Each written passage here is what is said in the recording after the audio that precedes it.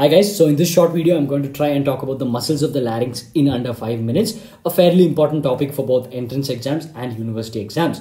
So let's get started. So the laryngeal muscles can be broadly divided into two types, intrinsic muscles of the larynx and extrinsic muscles of the larynx.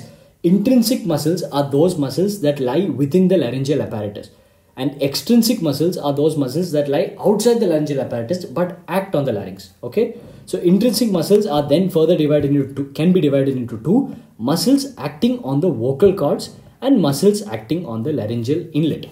Now coming to the extrinsic muscles, that is the muscles that lie outside the larynx but act on the larynx. So they are further divided into elevators of the larynx, muscles that raise the larynx and depressors of the larynx, muscles which pull down the larynx. So the elevators of the larynx are just two and they are mylohyoid and stylohyoid. Remember these lie above the level of the larynx so they pull the larynx up and depressors of the larynx are nothing but your strap muscles. So coming to the important part of this discussion and that is the muscles acting on the vocal cords. So the muscles acting on the vocal cords can be classified into four types of muscles. The adductors, okay, imagine this is the vocal cord.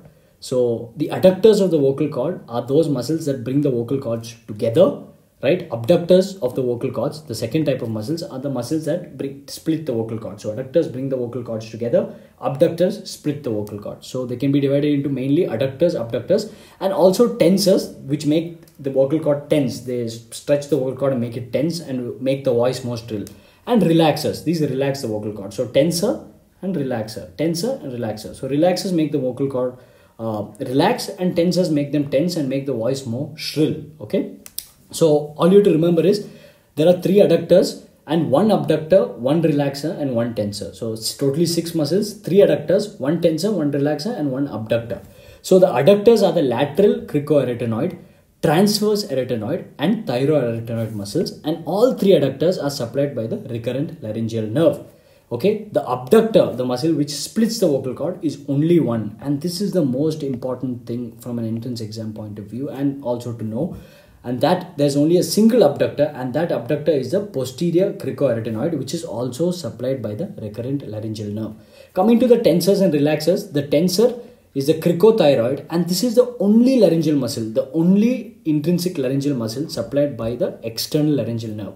All the other muscles are supplied by the recurrent laryngeal nerve. So the cricothyroid, again entrance exam important, is the only muscle supplied by the external laryngeal nerve. It's a tensor of the vocal cord and it makes the voice more shrill. So when the ELN or the external laryngeal nerve is injured, the cricothyroid stops acting and the voice becomes hoarse. So hoarseness of voice, voice change is a feature of the injury of the external laryngeal nerve. Now coming to all the other muscles, the vocalis which is the relaxer, the tens abductors and adductors, all of these are supplied by the recurrent laryngeal nerve and of these, the most important is the posterior cricoarytenoid because it abducts the vocal cord, splits the vocal cord.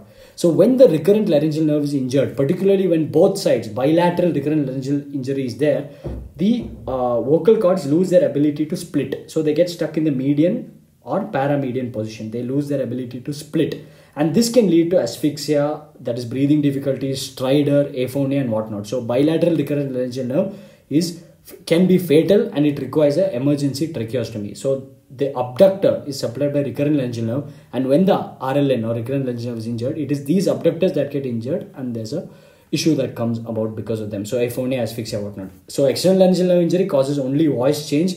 Unilateral RLN injury also usually only causes voice change, but bilateral RLN injury, RLN injury can be fatal. Lastly, not so important, but muscles acting on the laryngeal inlet. There are muscles that open the laryngeal inlet by pulling the uh, epiglottic fold up and uh, muscles that close the laryngeal inlet. So the openers are the thyroarytenoid, single muscle, and the the muscles that close the laryngeal inlet include the oblique arytenoid and the aryepiglotticus. So here are some images where you can uh, see the muscles. Here you can see the transverse arytenoid, which was your uh, uh, adductor, adductor of the adductor, uh, yeah, adductor, and posterior cricoarytenoid here, which is the abductor which splits the vocal cords. So basically you can just see uh, them in these images and you can find these images in google. I wanted to keep this in less than five minutes so you, you can just get the classification for your exam and know which nerve supplies what.